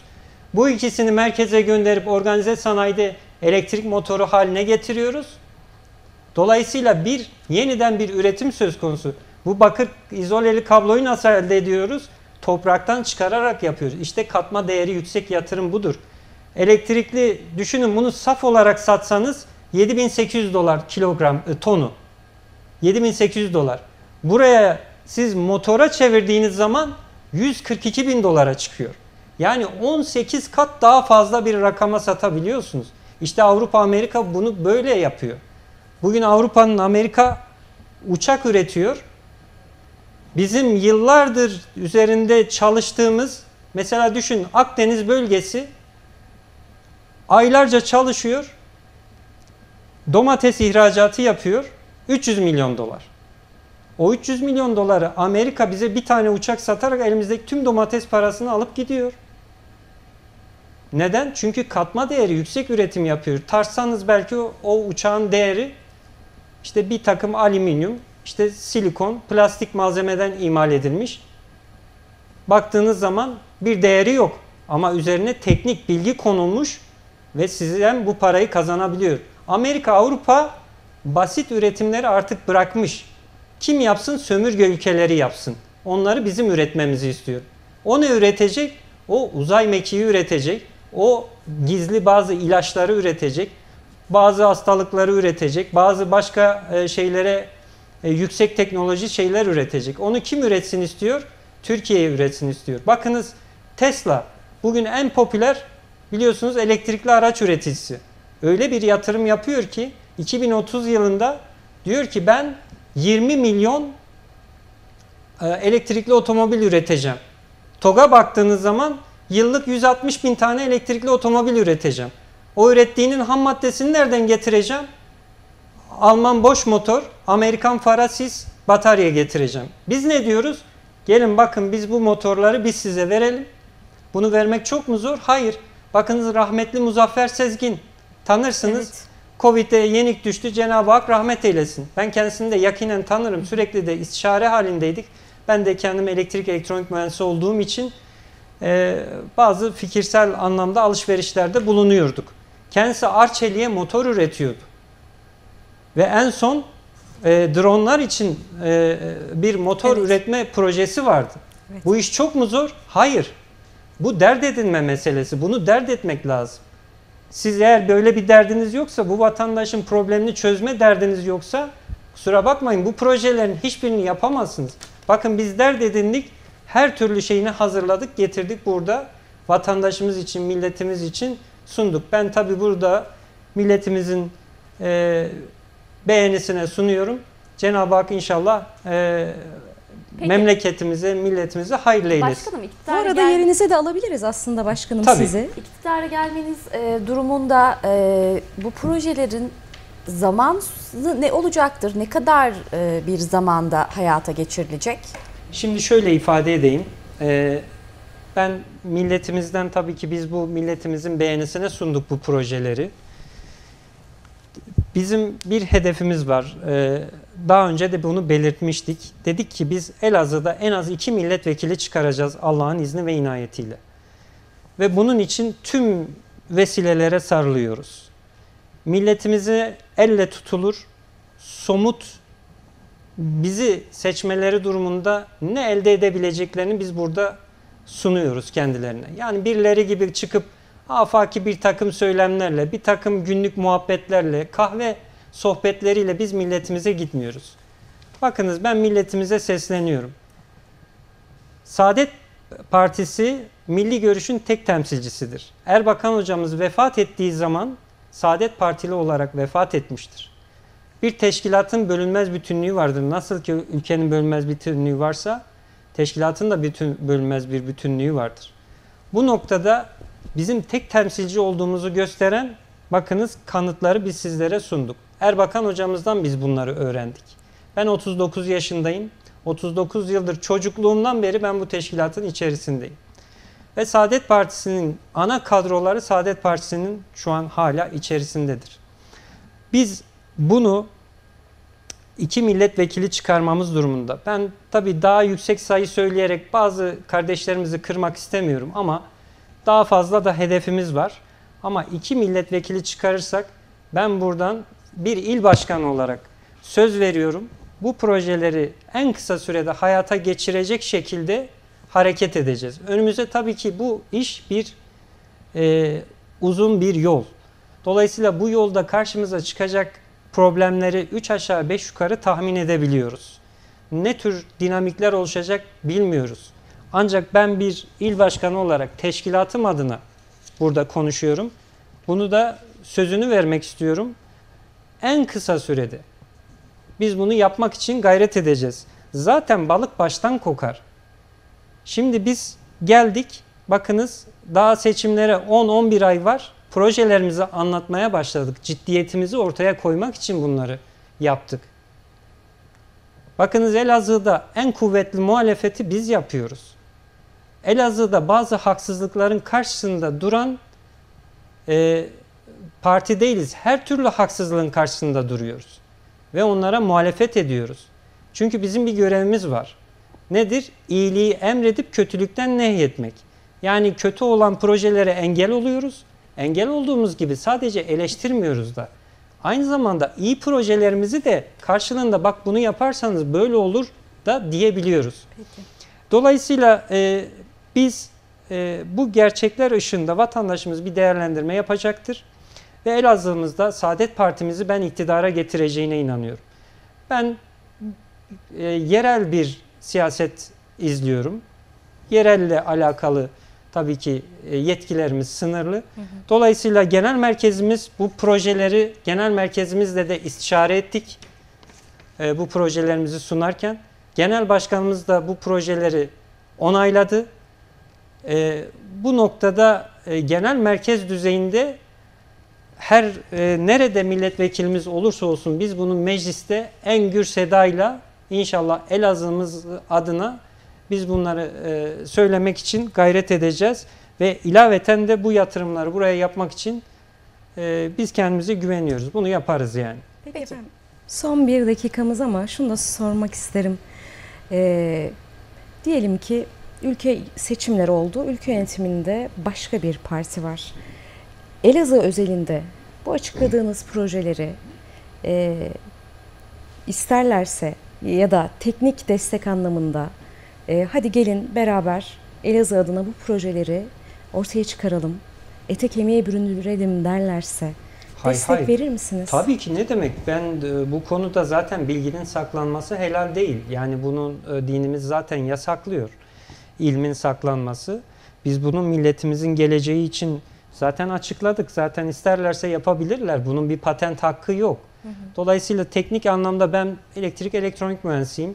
Bu anlamda elimden gelen tüm teknik desteği tabii ki kendilerine verir. Aynı zamanda destek olacak kişileri de muhakkak suretle yönlendiririm. Bunda hiç şüphe yok. Ancak e, bakınız az önce bir ifade kullandım. Balık baştan kokar. Siz 20 yıldır bunu yapmıyorsanız bundan sonra yapmanız mümkün değil. Çünkü sizin düşünce tarzınız, stiliniz böyle değil. Böyle bir derdiniz yok. Olsaydı zaten bugüne kadar çözerdiniz.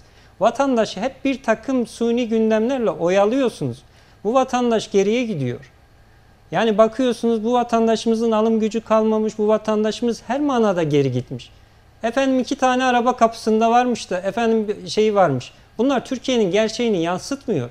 Türkiye'nin gerçeğini bizim e, bankalar caddesinde 50 65 yaşındaki ayakkabı boyacısı us- usta ayakkabı boyacısı Mustafa ağabeyi yansıtıyor. Emekliliği yok. Yürüyerek evine gidiyor. İki tane çocuğu var. Günde 40-50 tane ayakkabı boyayarak geçimini sağlamaya çalışıyor. Türkiye'nin gerçeğini işportacı Nezir ağabeyi yansıtıyor. Türkiye'nin gerçeğini bu AK Parti'nin söyledikleri yansıtmyor. Bunları da görmemiz lazım. Başkanım şunu da sormak istiyorum. Tabii e, seçime az bir zaman kaldı, 11 ay gibi bir zaman. Genel Başkanınız Fatih Erbakan'ın e, Elazığ... Genel Başkanımız e, Temel Karamollaoğlu. Çok özür Evet. diliyorum. E, gelme gibi bir durumu var mı Elazığ'la ilgili bir Ya programı? şimdi şöyle bunu tam e, tabii ki bir şey söyleyemiyorum. Mutlak suretle gelecektir. Tabii bu karıştırmalar bazen olabiliyor. Çok normal, hiç de önemli değil. Bizim genel başkanımız Temel Karamollaoğlu'dur. E, genel başkanımızın da çok çok selamı var. E, Elazığlı hemşerilerimize bunu da iletmek isterim. Bu projeleri tabii ki onlara arz ettik. Kendilerinin de onayını aldık. E, evet sorunuz alayım ben. E, Evet, Elazığ'la ilgili bir gelme program. noktasında ha onu söylüyordunuz. Yani e, gelebilir her an.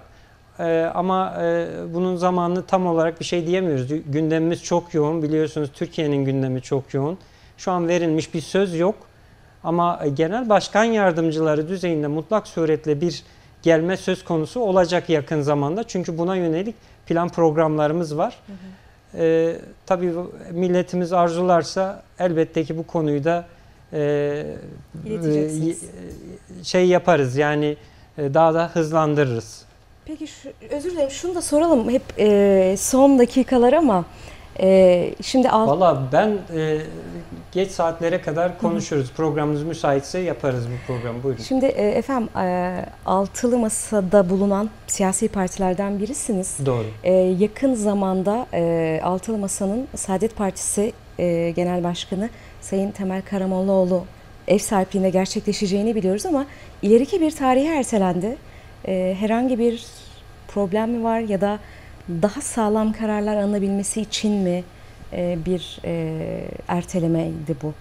Şimdi şöyle biz tabii e, altılı masada herhangi bir sorun olup olmadığı noktasında bir bilgi almış değilim. Yani genel Dolayısıyla tabii yani bir bilgi almış değilim. Bu noktada da açıkçası bir merak içinde de olmadım. E, açıkçası biz e, Saadet Partisi olarak bakınız iki saattir bir program yapıyoruz. E, biz yolumuza bakıyoruz. Şu an iktidara kim gelirse gelsin seçimlerde biz Elazığ'da milletvekili çıkarırsak biz bu projeleri gerçekleştirmek için canla başla çalışacağız. İster o ittifakta olsun ister bu ittifakta olsun. Biz e, hangi ittifak olursa olsun iktidarın Saadet Partisi olarak Allah'ın izni ve inayetiyle ortağı olacağız ilk seçimde.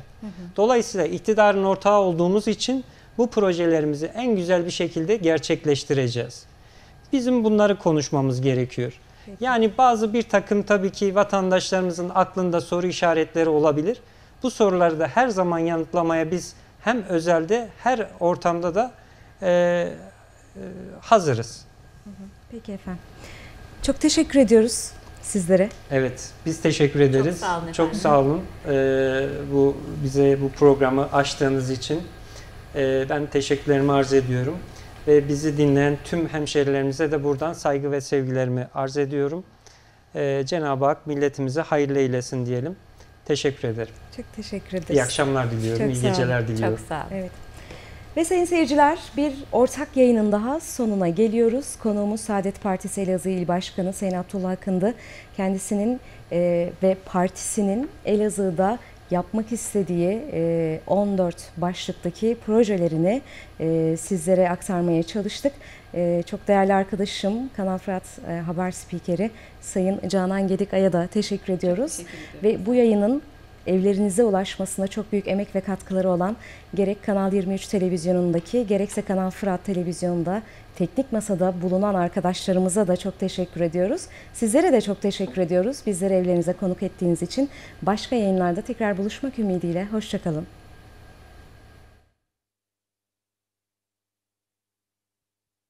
Kalkınma Planı Elektrikli Otomobil Motoru Fabrikası. Maden Bakır İşletmesi, Entegre Motor Sargısı ve Kablo Fabrikası. Karakoçan, Palu Kovancılar Stator Rotor Fabrikası. Baskil Pil ve Batarya Fabrikası. OSB, Elektrikli Kara ve Hava Araçları Kümelenmesi Projesi.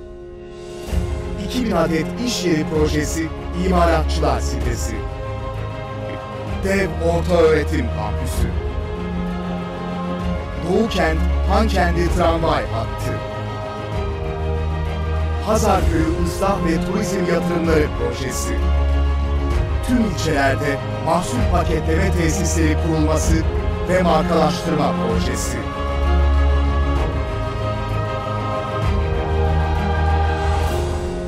...30 bin işsiz değil, doğrudan 50 bin istihdam alanı. Sahipsiz Elazığ değil, bölge lideri Elazığ.